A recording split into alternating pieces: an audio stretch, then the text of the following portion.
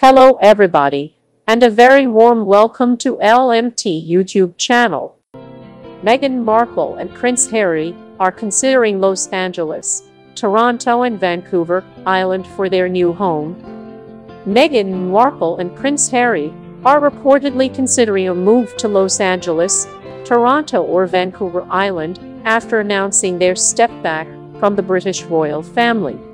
The couple plan to settle in North America after they celebrated the holidays in a $20 million waterfront property waterfront mansion there, according to royal sources. They are supposedly thinking about settling somewhere familiar to Meghan, with Toronto and her native Los Angeles being possible contenders, reports The Telegraph. A source connected to the leafy North American home said their accommodation there was a short-term arrangement over the Christmas period the former Suits actress was born and raised in Los Angeles, but lived in Toronto to film Suits between 2011 and 2016, so she has strong ties to both places. Meghan and Harry returned to the Canadian city for the Invictus Games, a sporting event which was pioneered by the Duke. After LMT Channel exclusively revealed their plans to leave the UK, the Duchess jetted back to Vancouver Island where eight-month-old Archie was minded by a nanny, stylist Jessica Mulroney, and Meghan's family. She arrived in Vancouver late Thursday and then took a connecting flight to the nearby hamlet, where she and Harry had previously enjoyed a lengthy vacation in November. Archie remained there when his mom and dad returned to London to inform Queen Elizabeth of their bombshell plan to step down from their roles as senior members of the royal family. Reports indicate Meghan hasn't booked a return flight, but Vancouver Island is reportedly a bit too quiet for the power couple. Harry and his wife are hoping to become financially independent of the royal purse. Their Frogmore cottage was refurbished using $3.1 million worth of British taxpayers' money remains empty, but the couple supposedly plan to keep it as their UK base. The LMT channel reports they have already shipped their beloved pets, rescue beagle Guy and a female black Labrador puppy, to Canada in November, and they have it returned. Sources say this was a massive clue, telling the publication. Both the Duke and Duchess adore their dogs and Guy has already been relocated from Canada to London, once when Meghan moved over.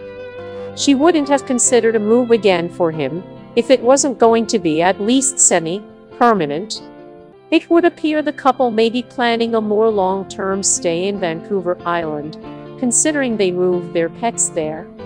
North Canada certainly has fond memories for the couple.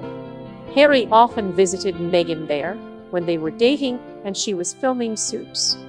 The Queen's former press secretary Dickie Arbiter said, This is a landmark meeting which is dash absolutely unprecedented. A palace source confirmed they will also discuss the next steps for the monarchy, with an announcement due within days.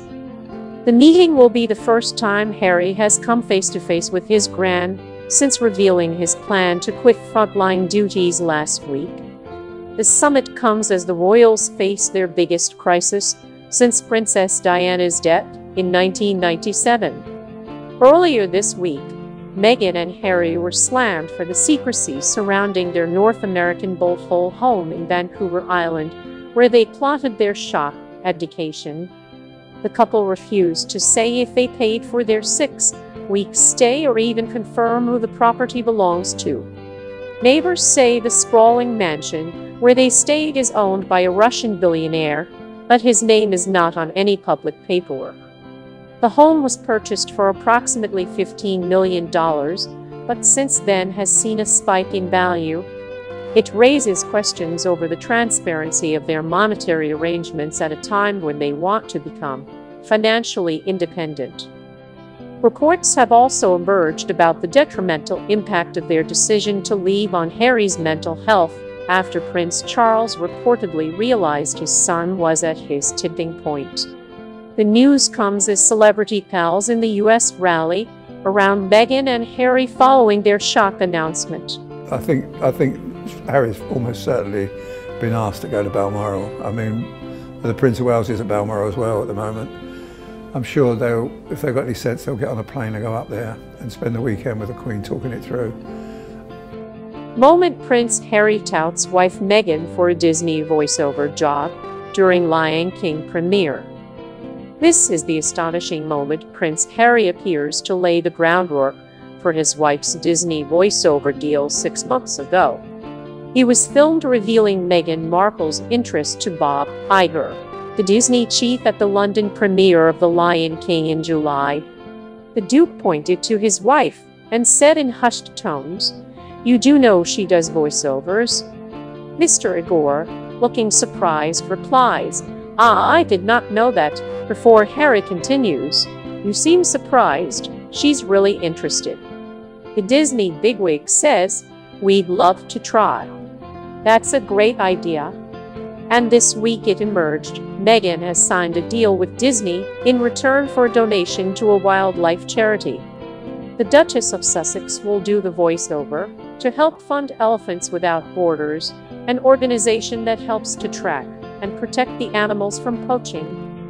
News of the voiceover deal suggests the former Suits actor might be looking to return to Hollywood as a way of gaining financial independence. Last year, the Sussexes announced on Instagram Disney had made a substantial donation to their wildlife charity work. And at the same premiere in July, Meghan offered a hint she was having a hard time as a royal. She told the singer and producer Pharrell Williams, they don't make it easy. During the premiere in London's Leicester Square, the couple met the film's cast and crew, as well as representatives from African Parks, the conservation organization which counts the Duke as a patron. Earlier in the year Disney had honored the royal couple with a watercolor Winnie the Pooh animation to celebrate the birth of the new royal baby. Hand, drawn by senior principal artist Kim Raymond, the beautiful painting shows the world's favorite bear delivering a book to Archie. Experts said becoming brand ambassadors for global giants, such as Apple, could see Prince Harry and Meghan earn tens of millions annually.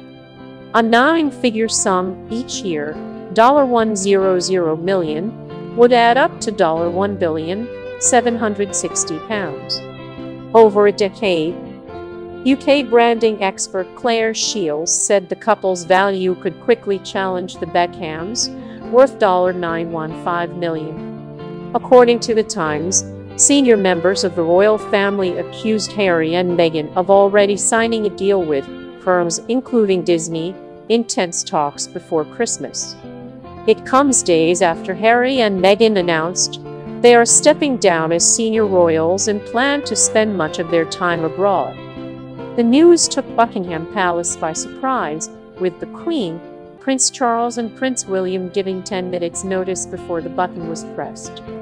The Duke and Duchess said in their surprise statement on January 8, after many months of reflection and internal discussions, we have chosen to make a transition this year in starting to carve out a progressive new role within this institution. The Queen was said to be disappointed by Harry and Meghan's bombshell announcement after no other members of the royal family were consulted before the news was released. Meghan flew to Britain on Monday after the couple spent six weeks away over Christmas. But she has already returned to their luxury bolt hole on Vancouver Island, Canada. So there you have it. That's all the news on Meghan and Prince Harry situation today. As always, thanks for listening. Don't forget to like, comment, subscribe, and press that notification bell if you want to be notified of future videos. Thank you. Don't stop.